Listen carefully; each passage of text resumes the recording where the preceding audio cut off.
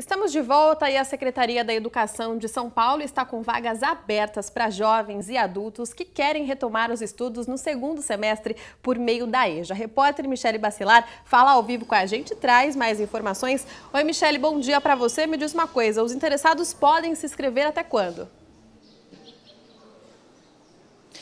Bom dia, Jéssica. Bom dia para você que acompanha a gente ao vivo. Olha só, Jéssica, os interessados podem se inscrever agora em junho, porque as aulas começam no dia 31 de julho. Então é importante garantir a vaga até o dia 30 de junho para que tenha vaga para todo mundo. Quem, vai ter, quem tem mais informações é a Andréa Faria, que é diretora do Centro de Informações Educacionais, da Diretoria Regional de Ensino.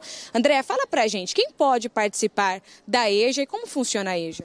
A educação de jovens e adultos na rede estadual, ela é do ensino fundamental, que compreende do sexto ao nono ano, e o ensino médio, e 15 anos completos o aluno tem que ter para iniciar qualquer série do fundamental e 18 anos completos para qualquer série do ensino médio. E qual é a duração da EJA? O, a EJA, o curso é semestral, tá? Então são quatro semestres para o ensino fundamental e três semestres para o ensino médio. André, fala para a gente, quem quiser se inscrever, onde deve fazer essa inscrição e quais são os documentos necessários?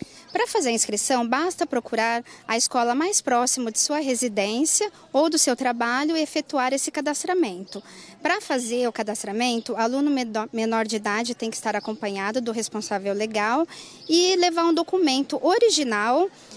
é, RG, certidão de nascimento ou de casamento e um comprovante de residência. Lembrando então que é importante fazer essas inscrições aí até o dia 30 de junho, porque no dia 10 de junho já sai a convocação de todo mundo.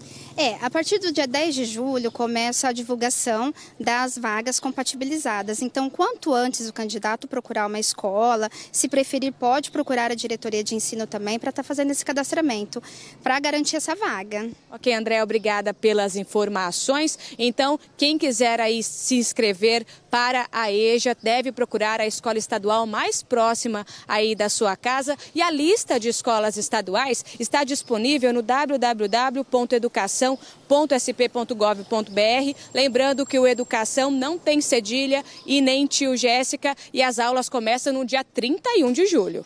É, então tem que correr mesmo. Uma ótima dica, né, Michele, para quem quer voltar, concluir os estudos, voltar aí para salas de aula e também, principalmente, para o mercado de trabalho. Obrigada pelas informações e um ótimo trabalho.